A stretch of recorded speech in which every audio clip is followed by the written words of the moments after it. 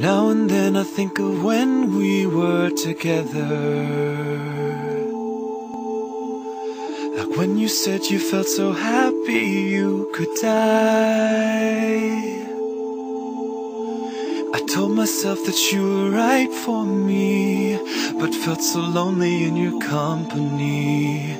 But that was love and it's an ache I still remember.